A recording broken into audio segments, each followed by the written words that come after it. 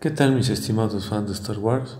Hoy vamos a ver una de las historias de la cantina de Mos Eisley, referente a Saitor Kalfas y a Hershet Kalfas. Para comenzar, se dice que ellos vienen o son originarios del planeta Durktil. Por mi parte pensé que eran hermanos porque llevan el mismo apellido, Kalfas, pero no es así. Son primos. Y Saitor es del sexo femenino. Otra sorpresa para mí adicional. En la cantina se dice que ella realmente era la guardaespaldas de su primo Hershek, mientras que él pues se dedicaba al comercio de droides. Y nada más a eso se dedicaba él.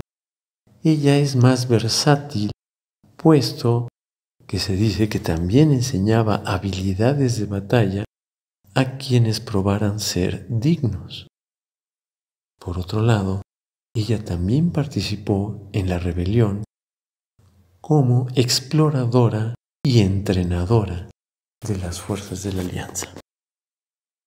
Ambos estuvieron presentes en la cantina de Mos Eisley cuando Luke Skywalker y Obi-Wan Kenobi entraron buscando a un piloto que los llevara a Alderaan.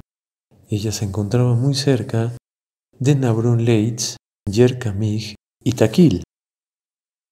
Por su parte, Hershek se dio cuenta de la presencia de Citripio y trató de seguirlo, pero lo perdió entre las calles de Mos. Espero les haya gustado esta breve historia. No olviden darle pulgar arriba, activar la campanita para notificaciones de nuevos videos y suscribirse a este canal si no lo han hecho. Nos vemos hasta la próxima. Que la fuerza los acompañe. Gracias.